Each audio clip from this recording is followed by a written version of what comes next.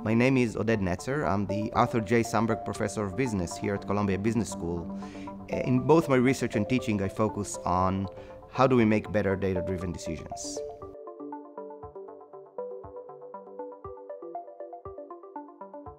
My interest in making decisions with data sparked uh, early on when I started working in consulting. Soon after I graduated from my undergraduate degree in engineering, I started working in management consulting. Um, was working on really interesting problems involving data and trying to solve problems with uh, data. Problems were very interesting. I really enjoyed working in consulting, but uh, to my taste, the problems that we were trying to solve, these interesting and difficult problems, Uh, the tools that we were using to try and solve these problems were too simplistic for the problems that we were facing. And that's in what influenced me to move into academia to develop better tools to solve these problems, as well as train the next generation of data driven leaders.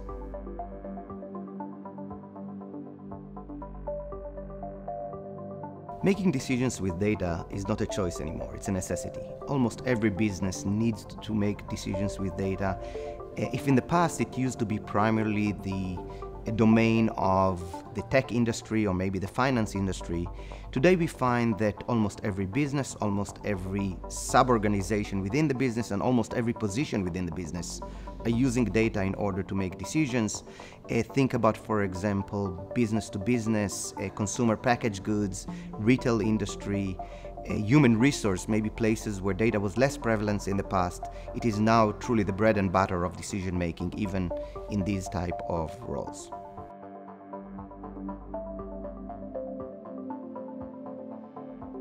To the best of my knowledge, Columbia Business School was the first business school to actually introduce business analytics as a core course into our MBA core program. And that came from our belief and understanding then and still today that every MBA needs to understand the foundations of business analytics and data analysis they are entering into the workplace. The workplace has really changed on us. If in the past an MBA would sit in a room, sit in a table with a like with more other MBAs, today an MBA is likely to sit in a table with a data scientist, a computer scientist, a data engineer, maybe even a UX engineer. I see it firsthand at Amazon in my work as an Amazon scholar, seeing these very heterogeneous tables. So our MBAs need to be able both to converse and make decisions together with people that are deeply involved in uh, data analytics, uh, making these skills crucial in order to uh, fulfill their roles.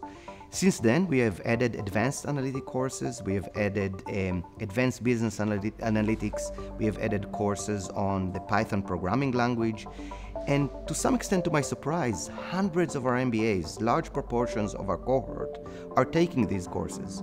If you were to tell me 10 years ago that hundreds of our MBAs would choose an elective course on Python, I wouldn't believe you. Uh, but yet, our students understand, and rightly so, the need to understand these foundations of business analytics as they're entering into today's business world.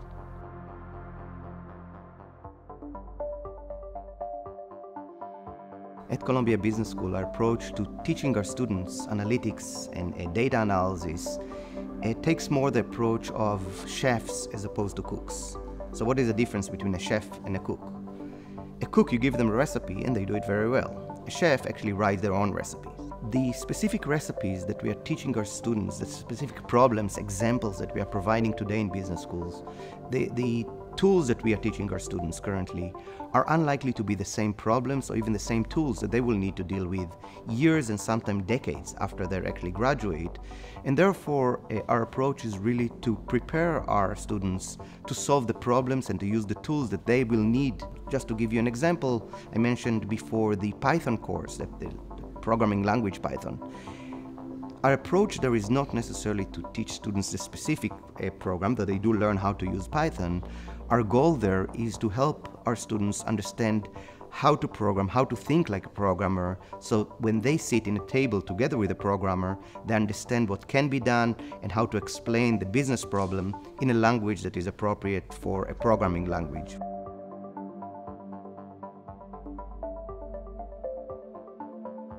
A new and emerging role in the world of business is what is called data translators. A data translator is someone who knows enough of the data science, machine learning tools, but also knows the context, observe, observes the context of the business, understand enough of the business acumen in order to be able to combine both, in order to be able to take the information that comes out of the data science team and then convert it into the language and into the business problem that the business unit is trying to solve.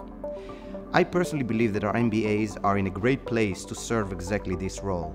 They're in a great place in terms of having enough of the knowledge and education around things like business analytics on the one hand, but having both the breadth of business acumen as well as the depths in the business that they are actually uh, operating in.